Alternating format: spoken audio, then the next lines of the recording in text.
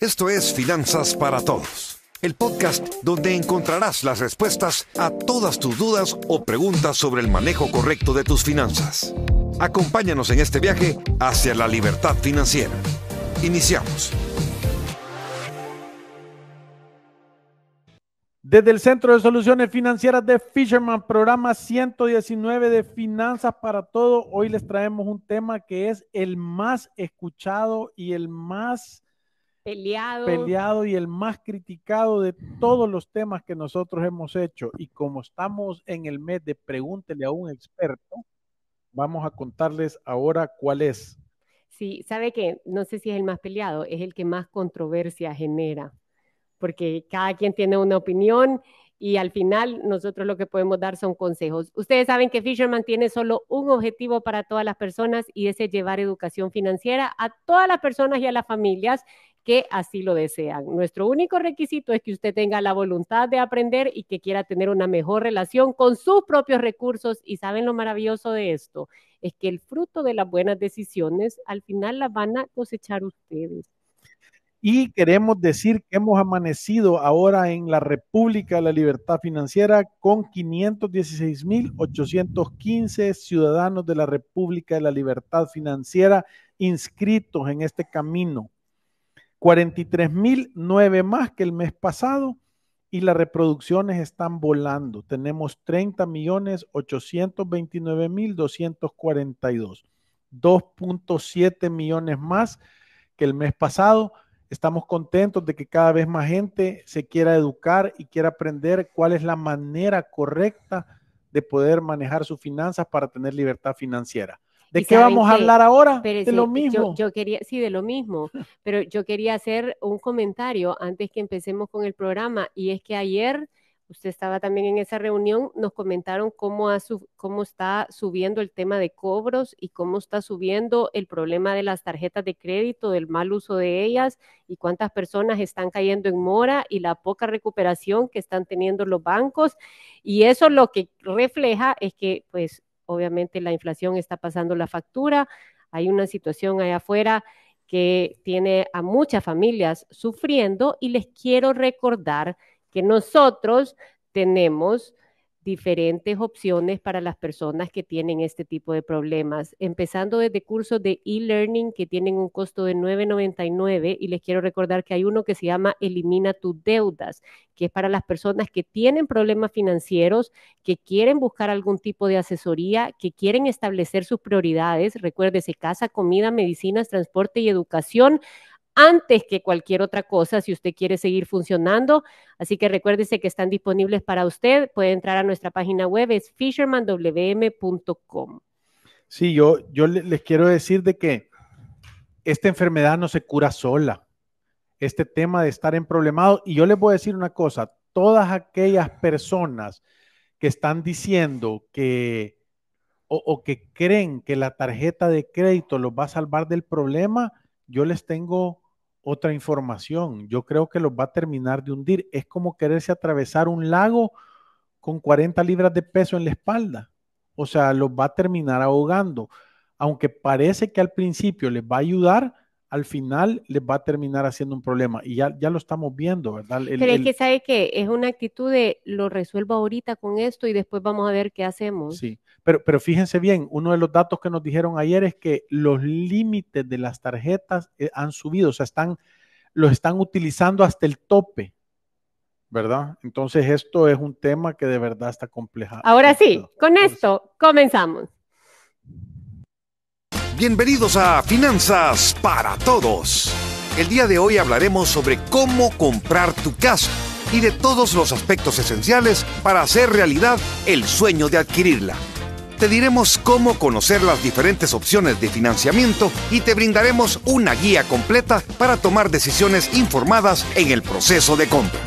No importa si eres un comprador primerizo o si ya has adquirido una propiedad anteriormente porque en este programa te daremos conocimientos valiosos para tomar decisiones financieras inteligentes y lograr hacer realidad el sueño de tener tu propio hogar. Y para explicarlo de la mejor forma, tenemos a dos expertos en finanzas personales de Fisherman, Marilú de Burgos y Alfredo Escalón. Y estamos el día de hoy hablando de este tema que tal como yo les digo es súper controversial. La gente cada vez que lo tocamos, algunos se enojan, otros se alegran, eh, pero sobre todo lo que queremos es que la gente entienda cuál es la manera correcta de poder comprarse una casa. Y, creo que vamos a empezar con las premisas estas eh, que nosotros hemos escuchado ahorita un montón de veces, ¿verdad? Que, es que dicen, y, y esto lo he oído yo bastantes veces, he oído a la gente decir, es que no entiendo cómo es posible que mis papás compraron casa o la casa que compraron de mis papás ahora vale tanto y yo es imposible que compre una. O sea, hay un montón de gente allá afuera que siente que los precios de las casas eh, son inalcanzables, que no se puede comprar una casa, eh, que no saben por dónde empezar y que no entienden. y yo les quiero decir que sí e, es una cacería de un animal grande. Ya no es, eh, eh, vamos a comprar un carro, vamos a comprar una moto, vamos a comprar una bicicleta, compremos una computadora o un reloj o ahorremos para irnos de viaje. Es posiblemente la inversión más grande que vas a hacer en tu vida. Sí, es para la mayoría de las personas la inversión más representativa en su vida es la compra de su casa. entonces, partiendo de ese dato, te va a costar no, o sea, este, vas a luchar con el animal más grande que te vas a enfrentar posiblemente en tu vida. Entonces, yo, yo lo que quiero decir es que al igual que a tus papás en ese tiempo, tomar esa decisión de adquirir un bien inmueble de comprarse una casa y de financiarla les costó sacrificio, disciplina y determinación y el nivel de compromiso que tenía que hablar en ese tiempo es el mismo que tiene que haber ahorita para que vos puedas comprar una casa. Entonces, lo que te quiero decir y lo primero que tenemos que quitar del camino es que si tú pensás que es imposible comprar una casa ahorita, apagar la radio, salite de las redes sociales y ya no oigas este programa, porque contra esa mentalidad nosotros no podemos hacer nada. No, no podemos hacer nada. O sea, si tú ya crees que es imposible comprarse una casa, ni trates. Tienes razón. Sí, aquí le estamos hablando a los leones, a la gente que dice yo voy a romper el molde, yo sí me voy a comprar mi casa, yo quiero aprender, yo quiero saber cómo lo vamos a hacer. podemos hablar un poco del mito de alquilar es mejor que comprar y cuándo realmente esto aplica y cuándo no, porque creo que ese es el otro tema que siempre nos bombardean con diferentes comentarios y la verdad es que no hay ninguno, o sea, correcto, porque depende de la situación de cada persona. A mí me gustaría poner el ejemplo, eh, le voy a decir una de las cosas que nosotros hemos aclarado siempre. Em, alquilar es más barato en el corto plazo, pero es más caro en el largo plazo. Y comprar es más caro en el corto plazo, pero es más barato en el largo plazo. Nosotros hemos dicho también que lo que ahora en bienes raíces es caro, mañana es barato. Por eso da la sensación de, uy, compraron esta casa hace 10 años es 60 mil y ahora vale 150 mil, qué barbaridad. Eso es lo que pasa en el tema de bienes raíces. Ahora, hay una situación en las casas de beneficio social que difiere un poquito de este consejo porque son casas en donde las personas tienen acceso a ellas a través del Fondo Social para la Vivienda por 17 mil o 20 mil dólares y de repente no tienen acceso a un crédito y se las están alquilando en 150 o en 200 dólares, en donde realmente aplica que es mejor comprar que alquilar. Pero por eso decía que no hay como una postura Em, definitiva, depende la situación que está viviendo cada quien y depende el inmueble que está aspirando a comprar. Sí, y yo, tal vez quiero, quiero empezar poniendo un ejemplo. Mi amigo que fumaba se sienta con otro amigo que no fumaba y le dice, ¿cuántas cajetillas te fumas al mes?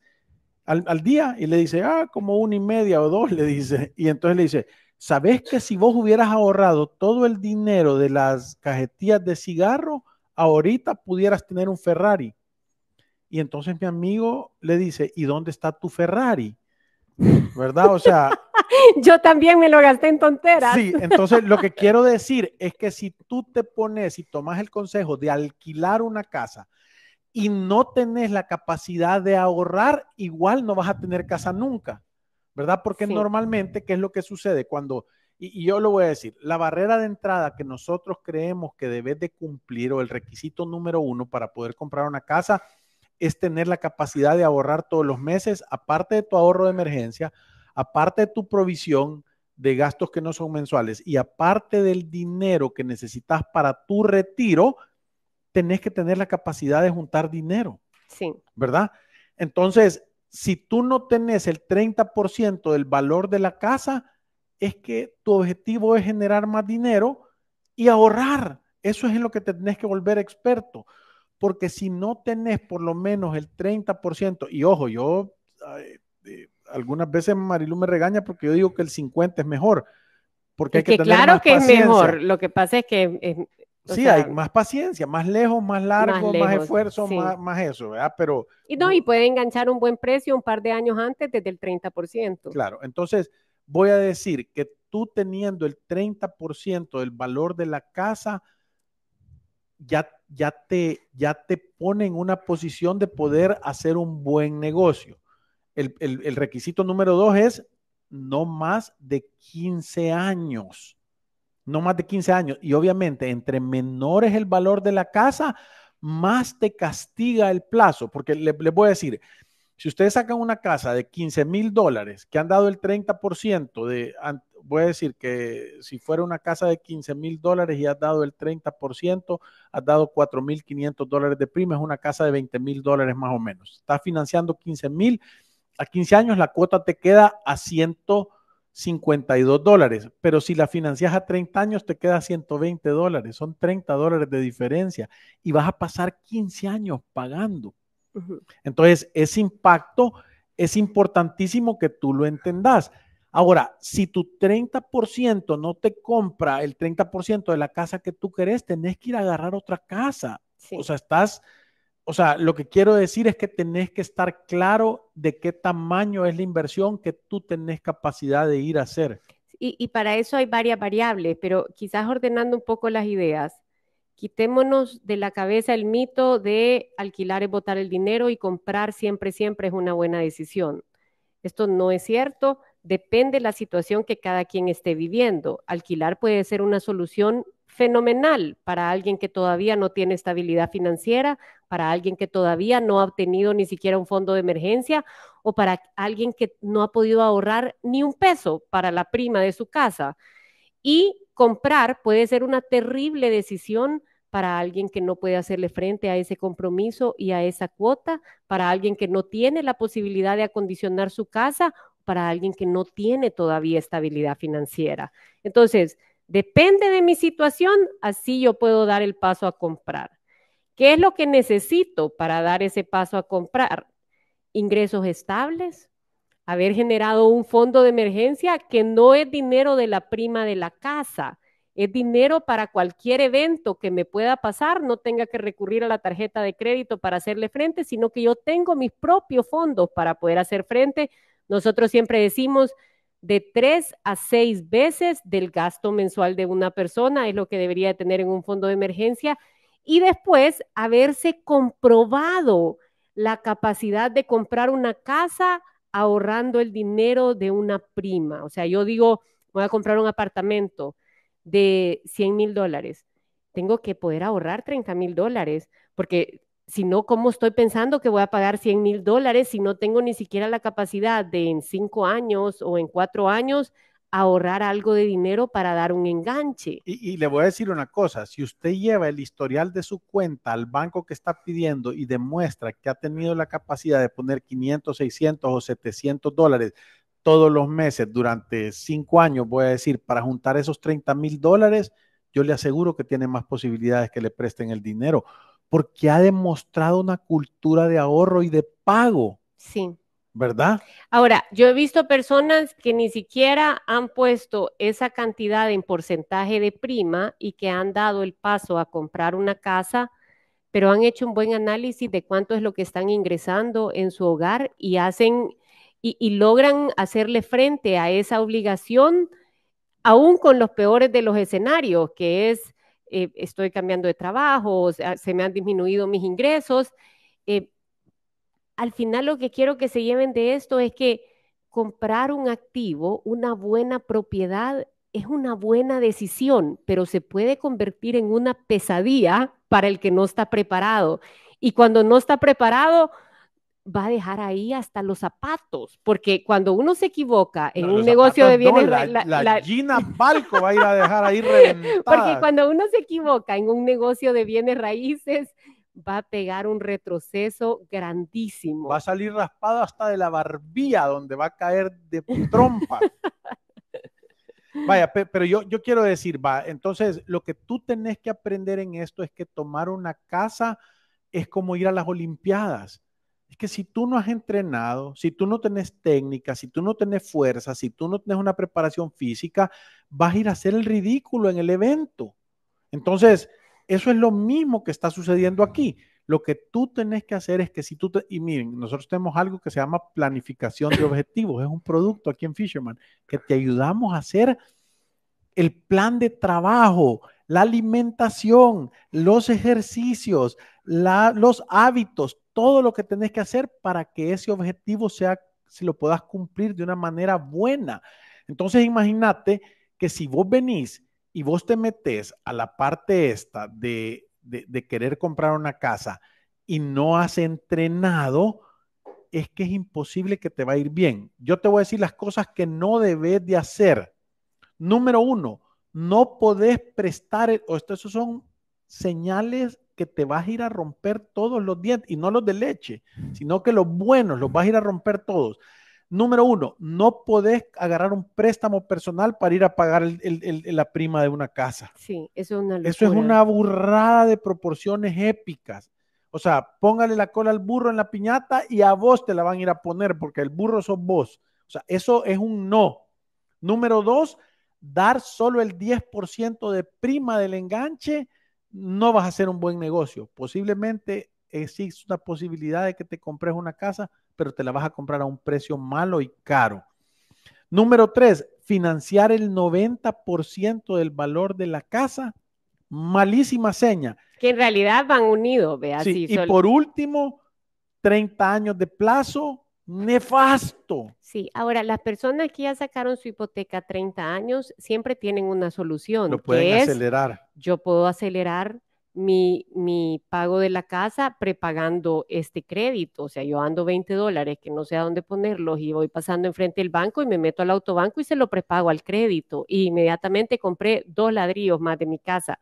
Cada vez que nosotros prepagamos un crédito hipotecario, estamos construyendo nuestro patrimonio, nos estamos haciendo una disminución en tiempo de nuestro crédito hipotecario y nos estamos ahorrando miles de dólares en intereses. Sí, sí, sí, de verdad que sí. Por, por eso es que lo voy a decir. La otra cosa importante que Marilu dijo es el tema del fondo de emergencia. Yo en el fondo de emergencia debo tener de dos a seis veces de todos mis gastos necesarios en el mes. O sea, no, no solo la cuota, sino que la luz, el agua, el teléfono, la cuota, el internet, el súper, el colegio de los niños, la gasolina del carro. O sea, si yo necesito para vivir dignamente mil dólares al mes, yo debería tener seis mil dólares. ¿Por qué es esto? Porque si tú compras una casa, normalmente en El Salvador, si has perdido el empleo, van a pasar seis meses para que vos encontres uno de regreso. En promedio, voy a decir, eh, hay gente que se pone las pilas, hay gente que no tanto, pero el promedio son seis meses. Entonces yo quiero estar con la tranquilidad que puedo pagar seis cuotas, ¿verdad? del, de, la, de mi casa sin tener problemas. Voy a decir, si tenés una casa de doble ingreso, imagínate, porque vaya, este es lo que yo digo, 30% de prima, eh, a 15 años la cuota y tener la capacidad de pagar el doble de la cuota que te quede. Quiere decir que tú puedes pagar la cuota solito y que tu esposa puede pagar la cuota solito, porque entonces lo que vas a estar haciendo es que vas a estar pagando súper adelantado y vas a salir rápido. Y si uno de los dos llega a perder el trabajo, tiene la capacidad de sostenerla.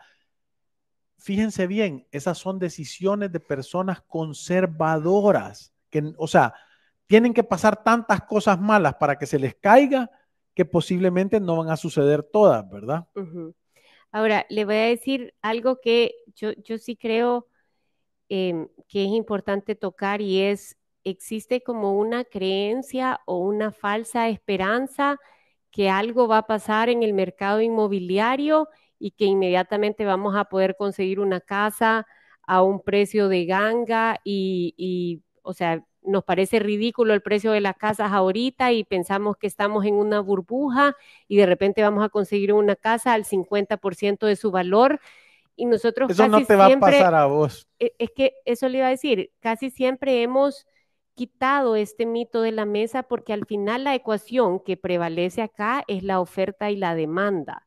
En realidad hay poca oferta de vivienda y por eso ustedes miran que cuando salen apartamentos de 125 mil dólares, 150 mil dólares, en cuestión de una semana o dos semanas se han reservado todos.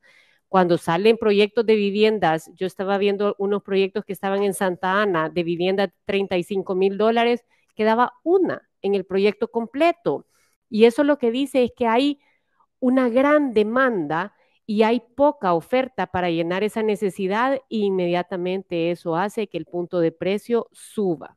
Entonces, estar esperanzado de que algo va a pasar y entonces yo voy a dar el paso, creo que lo único que están haciendo en ese momento es perder el tiempo. Creo que lo otro importante es que todos deberíamos de tener conciencia que a la edad de nuestro retiro vamos a querer tener un techo seguro y no vamos a tener la capacidad de estar pagando cuotas o no vamos a querer estar pagando cuotas. Entonces, yo tengo un periodo productivo en mi vida en donde debería de pensar de hacerme de un activo que me va a brindar esa condición para tener un retiro bueno, porque nosotros decíamos, si tú te quieres retirar y quieres hacerlo bien, tú necesitas tres condiciones. Ya no llevar deudas de consumo a tus 60, 65 años que te querés retirar, tener una casa totalmente pagada y tener hijos económicamente independientes, no el niño de 35 años leyendo el periódico en tu casa y comiendo de tu refri. Estas son tres condiciones que nos tenemos que fijar y una condición de esta es la casa. El inquilino del Hotel Cinco Estrellas que solo le saca cosas al refrigerador pero nunca le pone. sí, pero eh, es una condición indispensable. Entonces, dar el paso a comprar cuando yo tengo estabilidad financiera es una buena decisión. Con esto no quiero decir dar el paso a comprar a lo tonto, dar el paso a comprar una buena propiedad. Es que esta es la otra parte de la ecuación, es yo me preparo, pero también salgo a buscar algo que haga sentido, porque acuérdense que uno de los objetivos de ingresar al negocio de bienes raíces es hacer eso, es verlo como un negocio, no verlo como una casa que estoy dispuesto a pagar cualquier precio, la voy a comprar carísima y el único que hizo dinero en eso es el desarrollador. O el banco. o el banco, sino que estoy buscando una propiedad que sé que va a gozar de plusvalía, que sé que me va a brindar las condiciones que mi familia necesita y entonces y estoy comprándola a un precio bueno, entonces casi que me estoy garantizando en la ecuación que con esta compra voy a hacer dinero. No, y, y, que no tengo las emociones metidas en medio de las decisiones. Yo ayer lo decía, lo lindo de tomar una planificación financiera personal con nosotros es que las decisiones las van a tomar los números que se acercan al objetivo que tú te has planteado aquí está Caro preguntándonos en TikTok, ¿el servicio que ustedes ofrecen tiene algún costo? No tuve respuesta, muchas gracias. Sí tiene costos porque te vamos a ayudar, te vamos a dedicar tiempo y te vamos a hacer una planificación. Y eso es lo que decía, tomar decisiones en base a los números y no en base a emociones, porque normalmente la compra de la casa se vuelve un tema tan emocional. ¿Sabe que nunca se me va a olvidar este ejemplo? Tuvimos un cliente que dijo que salieron un domingo y él estaba yendo bien en su trabajo en ese momento. Y se fueron por la zona de Lourdes, aunque ambos trabajaban aquí en San Salvador. Y entonces entraron a una colonia que tenía un parque y entonces dice que salió una vendedora, les dijo, o sea, ellos, los niños jugaron en el parque, les dieron telado, pasaron felices, dieron el enganche de la casa y compraron la casa. Y en lo operativo del día a día, en cuestión de seis meses, se habían dado cuenta que esa casa no llenaba las necesidades que la familia necesitaba. Entonces, eran año y medio después de haber comprado la casa, haberla preparado para mudarse, pagar la mudanza, condicionarla, estar pagando las cuotas, haber pagado el crédito, el desembolso del crédito, todo lo que conlleva comprar una casa, porque como dije, a corto plazo es bien caro, solo para darse cuenta, esta no es la propiedad que necesitamos para vivir. Hay que vender esta casa y buscar algo que nos haga una vida un poquito más sencilla. Dice que pasaban dos horas, que no lograban llegar los niños a tiempo al trabajo, que nadie podía irlos a traer, que era desgastante para la familia, que se dieron cuenta que no le funcionaba, que la abuelita que llevaba al niño las clases extra ya no iba a Lourdes a traerlo. Entonces, al final lo que quiero decir con esto es, ponga mucha atención de qué es lo que está comprando y si realmente le resuelve la necesidad que su familia tiene. Yo siempre le doy el consejo a las personas, vayan a verla, en la mañana, en la tarde, en la noche, los domingos, el día de semana, maneje de su trabajo para ahí, maneje los fines de semana ahí, párese enfrente, hable con los vecinos, porque equivocarse en bienes raíces sale carísimo. Y nadie se va a preocupar por sus intereses como usted. Entonces, si una vendedora le dice, este lugar es maravilloso, no compre hasta que lo compruebe con sus propios ojos. Sí, yo, yo estoy totalmente de acuerdo con eso. Y como dice Marilu, tiene que ser un buen negocio. Es que, y, cuando digo un buen negocio, es que de repente yo puedo haber comprado, porque yo, yo siempre digo que hay como tres maneras de comprar una casa. La número uno es, yo me voy a enfocar en generar una buena prima, en la prima más grande que pueda y financiar la diferencia al menor plazo posible y abonar todo lo extra, la cuota para salir rápido y hacer un buen negocio con esa casa. La número dos es como la gente lo hace si sos un poquito más biznero, que se llama la, la, estrategia de dar brincos. Yo me compro una casita chiquita, posiblemente ni voy a vivir en ella, la voy a alquilar, le voy a estar metiendo dinero, la voy a ver como una alcancía, le voy a estar metiendo pisto y ahí sí no importa, yo la puedo financiar a 30 años porque yo sé que antes de dos, tres años la voy a haber vendido. La voy a vender, voy a hacer dinero en ese flip, en ese negocio, en esa dada vuelta de que la compré, la mejoré un poquito, la estuve alquilando y la pagué, voy a hacer dinero y con eso voy a ir a comprar otra. Y, va a ser dinero con la plusvalía que tuvo la casa durante ese tiempo, más la alcancía donde ha ido prepagando y de repente se va a sorprender que, que prestó 15 mil o 20 mil y ya solo debe 5. Entonces tiene 15 mil que ya son suyos. Entonces eso lo puedes dar para la siguiente y volver a hacer lo mismo. En dos o tres brincos de eso tenés el dinero para poder comprar tu casa. Y la última es, póngale la cola al burro, ¿verdad? Que es, voy a financiarla al 90% y, y lo voy a decir porque aquí la gente se confunde. Yo he visto gente dar el 10% de una prima, financiar el 90%, y darse la vuelta, ir a uberiar, ir a hacer ceviches, trabajar turnos extras, sacarse el bono de la empresa, hacer todo y todo se lo enfoco a la casa y entonces poderlas pagar en tres, cuatro, bueno, ¿te acordás que había una persona que decía que todos los días tenía una tabla de, abierta en el Excel de amortización y decía, ahora le metí 100 pesos extras, ¿cuánto me ahorré? Y todo el día andaba viendo cómo conseguía 100 pesos más. Sí. ¿Verdad? Y en lugar de salir en 20 años, salió en 5. Sí.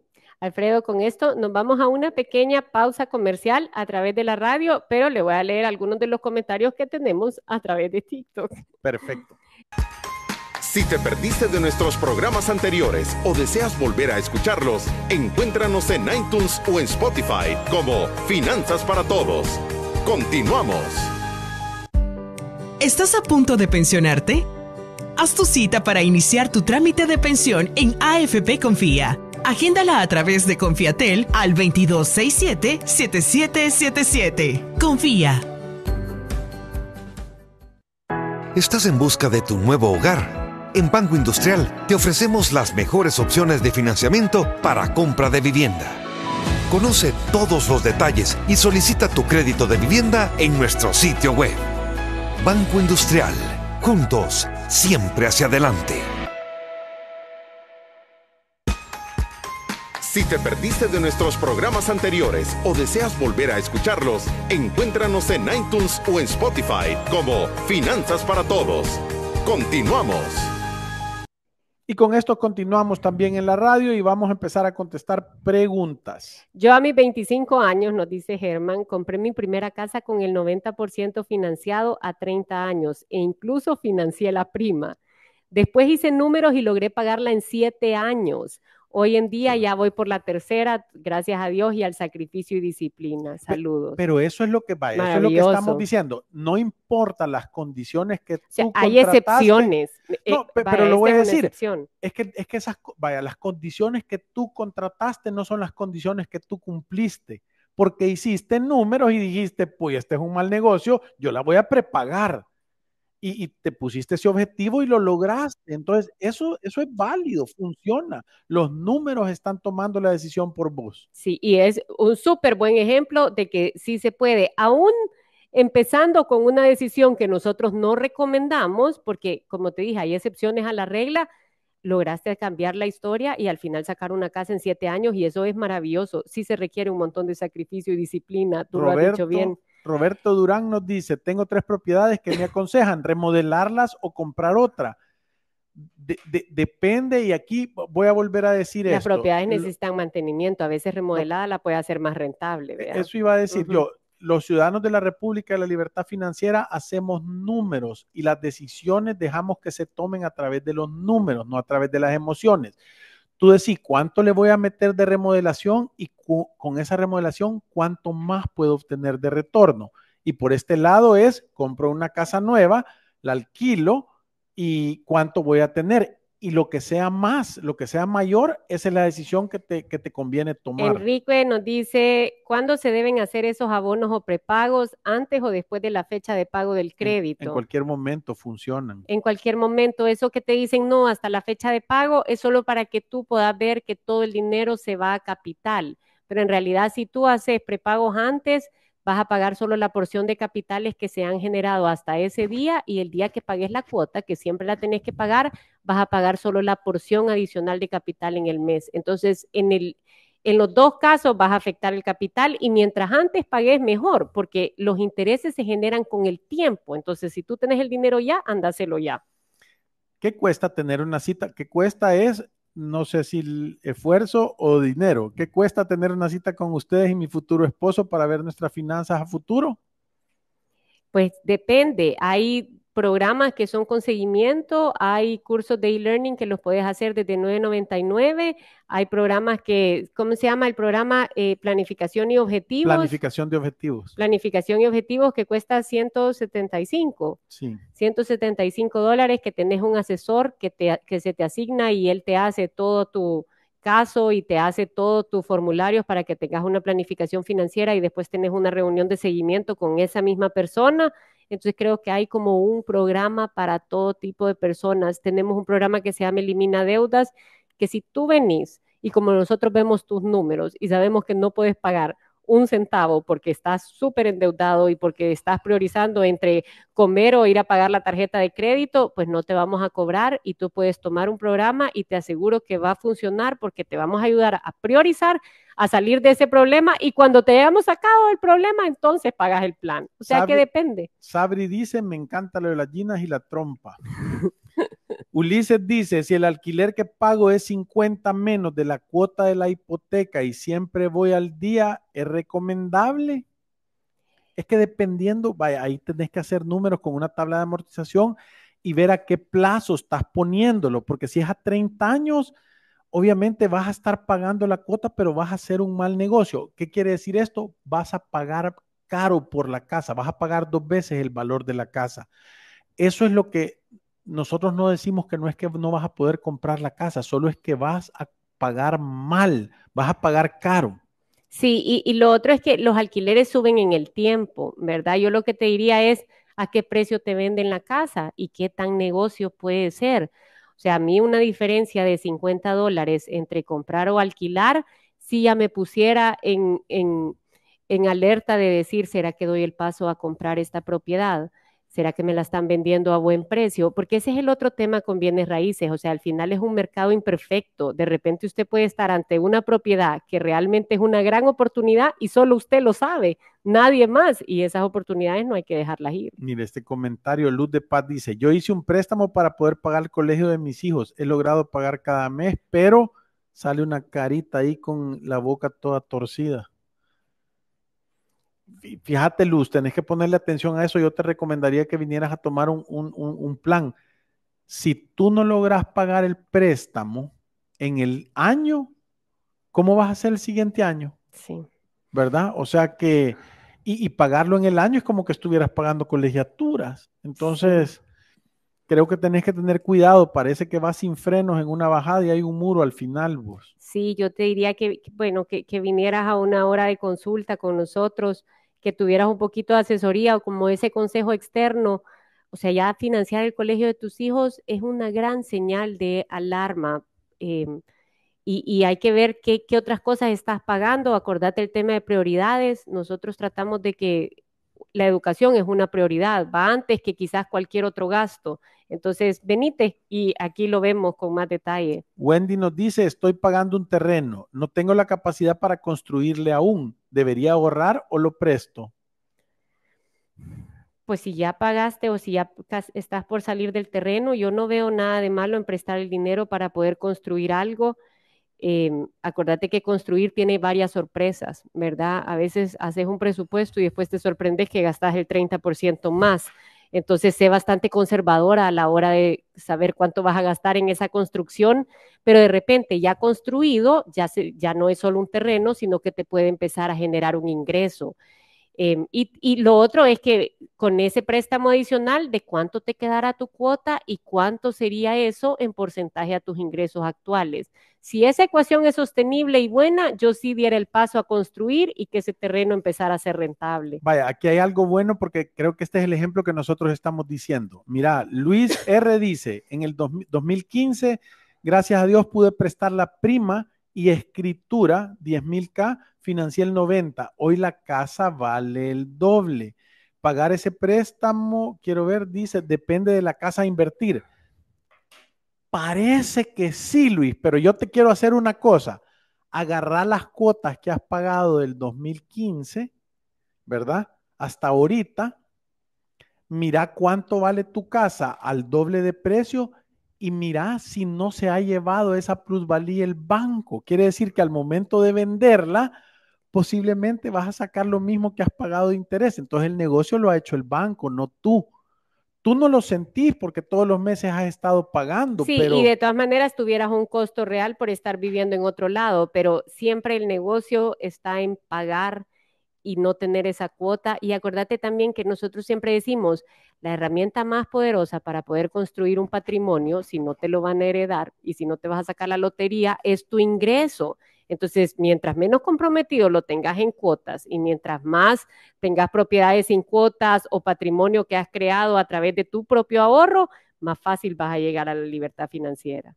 Sí, esas casas de Santa Ana las recomiendan como un negocio para ponerlas en alquiler o al menos que se pague. Yo digo que sí, si, si tenés la capacidad de dar un, buen enganche. Yo he visto bastantes personas que las han comprado como una inversión y están esperando que haya una plusvalía en esas casas. Sí, Rosy nos dice excelentes consejos. David nos dice, tener hijos no sale rentable por lo que veo, dice. es que no lo haces para ser rentable. Sí, sí, sí, no, no, no son negocios los hijos. Sí, o sea, siempre va a ser, por supuesto que lleva una responsabilidad económica Em, pero no siento que eso tiene que detenerte. Al final es un proyecto espectacular, nunca te vas a arrepentir de poder tener hijos y de educarlos bien y ver los frutos. Alfredo, con esto se nos ha acabado el tiempo. Gracias por habernos acompañado en otro programa de Finanzas para Todos. Definitivamente el tema de la casa, yo sé que es uno de los temas que más le encanta a nuestra audiencia. Vamos a seguir hablando de estos temas en otros programas. Como siempre, nos vamos recordándoles que ir a través de la vida sin una planificación financiera personal es un acto de genuina locura. Gracias. Salud.